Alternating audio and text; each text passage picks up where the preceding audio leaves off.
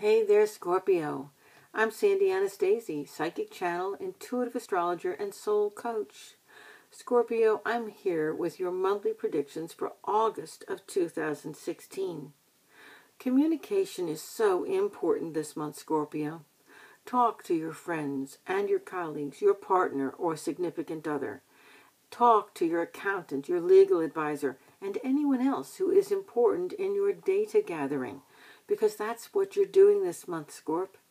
You're gathering information and insight that can open new doors for you creatively, as well as in business and finance. Your charisma is on high as you make new contacts that are important to your future.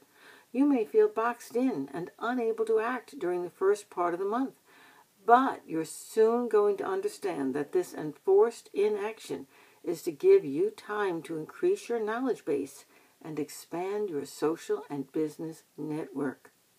I'm Sandy Anastasi. Visit me on www.sandyanastasi.com. Also, while you're there, sign up for my free monthly newsletter and my free psychic hour. It's just so much fun. Find out how to get a reading with me. Both my email and my phone number are right there on the site, so I'm very accessible.